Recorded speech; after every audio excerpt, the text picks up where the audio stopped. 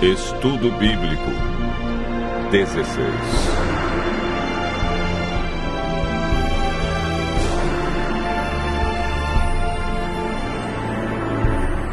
O Mandamento Esquecido.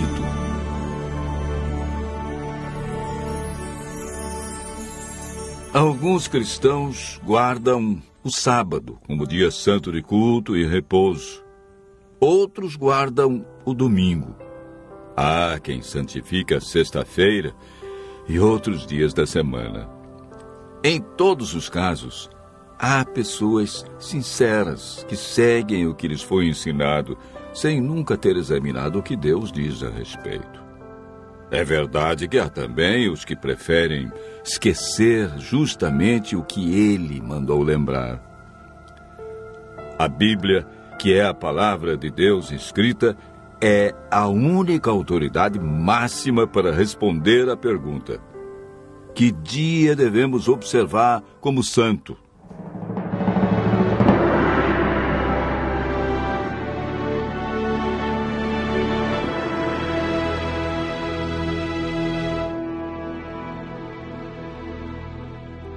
Deus criou o mundo em seis dias, de 24 horas, e no sétimo dia descansou. Em cada dia executou uma parte de sua criação. Entre os dias que marcaram a semana da criação, existe um que foi separado por Deus para estarmos mais próximos dele. Um dia para descanso e adoração. Um dia para servir as pessoas e receber bênçãos especiais. Marcos relata as palavras de Jesus. O sábado foi estabelecido por causa do homem e não o homem por causa do sábado. Marcos, capítulo 2, verso 27. Esse texto diz claramente que o sábado foi feito por causa do homem. Não diz que foi por causa do judeu, do hebreu, do grego, do gentio. Diz homem no sentido genérico, para referir-se ao ser humano homem e mulher. A Bíblia é clara em afirmar em Êxodo capítulo 20, verso 10, que o sétimo dia é o sábado do Senhor teu Deus. Vejamos agora a origem do sábado na Bíblia e a sua observância na história bíblica. Gênesis capítulo 2, versos 1 a 3. Assim, pois, foram acabados os céus e a terra, e todo o seu exército. E havendo Deus terminado no dia sétimo a sua obra que fizera, descansou neste dia de toda a sua obra que tinha feito, e abençoou Deus o dia sétimo, e o santificou, porque nele descansou de toda a obra que, como Criador, fizera. O sábado é o memorial da criação e foi instituído por Deus antes da entrada do pecado. Adão e Eva foram fiéis observadores do sábado. Moisés viveu cerca de 1500 anos antes de Cristo e ensinava a observância do sábado nos seus dias. Mesmo antes de receber os Dez Mandamentos no Monte Sinai, ele sabia que Deus reservara um mandamento sobre a guarda do sábado. Em Êxodo capítulo 16, verso 23, lemos: E isto é o que disse o Senhor: amanhã é repouso, o santo sábado do Senhor.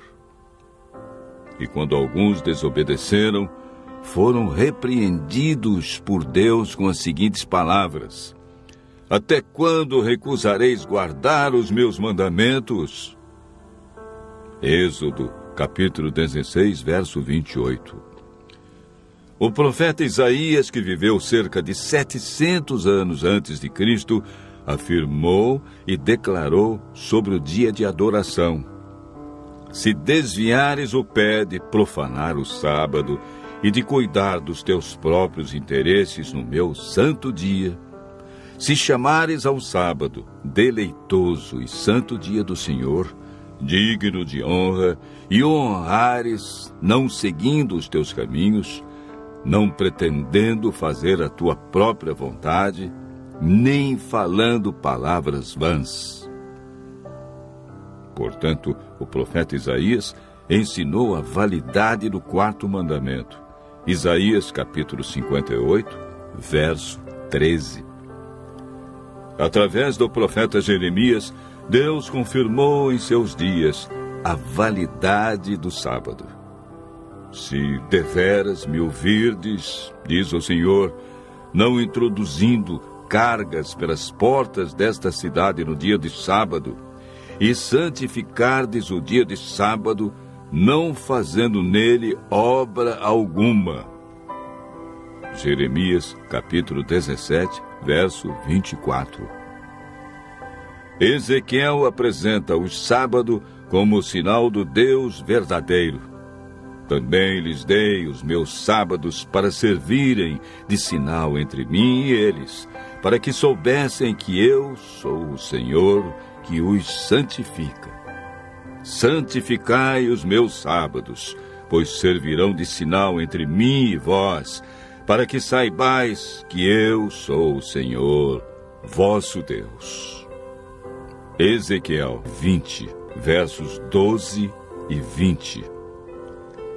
Por todo o Antigo Testamento, podemos observar a insistência dos profetas quanto à fidelidade ao quarto mandamento.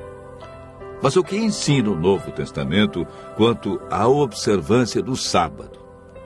Lucas afirma que Jesus, indo para Nazaré, entrou num sábado na sinagoga, segundo seu costume, e levantou-se para ler. Ele também registra a experiência das mulheres que seguiam a Jesus. Era o dia da preparação e começava o sábado. As mulheres que tinham vindo da Galiléia com Jesus viram o túmulo e como o corpo fora ali depositado.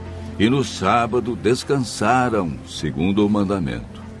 Lucas 23, versos 54 e 55. Mesmo após a morte de Cristo, elas obedeceram ao quarto mandamento, pois Jesus não havia ensinado nada diferente. Os apóstolos mantinham também o costume de Jesus.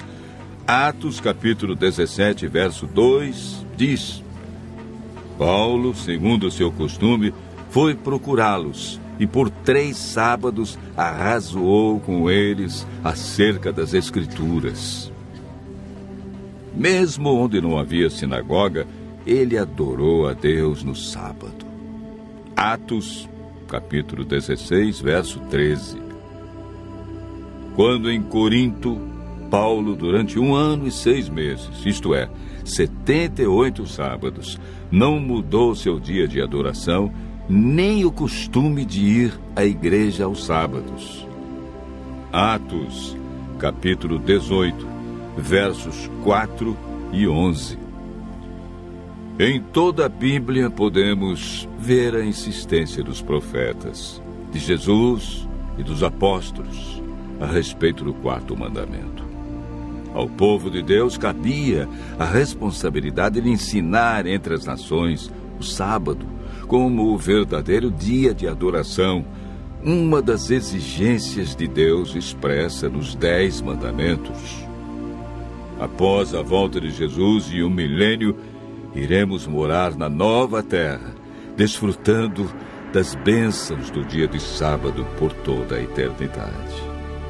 Jesus afirmou em João capítulo 14, verso 15: Se me amais, guardareis os meus mandamentos. Tiago diz no capítulo 2, verso 10: Pois qualquer que guarda toda a lei, mas tropeça em um só ponto, se torna culpado de todos. Continue ouvindo a voz de Deus, usufruindo das bênçãos da criação e praticando a esse mandamento por amor a Jesus.